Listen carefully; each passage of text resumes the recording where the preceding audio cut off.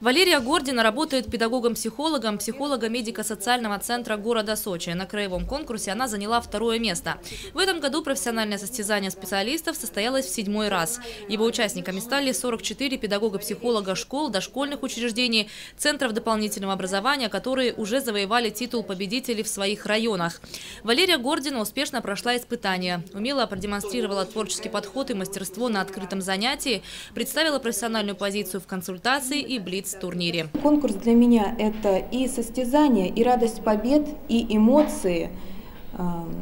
И появилось достаточно много новых друзей и знакомых, с кем мы сейчас переписываемся и в интернете, и смс-ками, и поддерживаем связь, планируя какие-то дальнейшие мероприятия.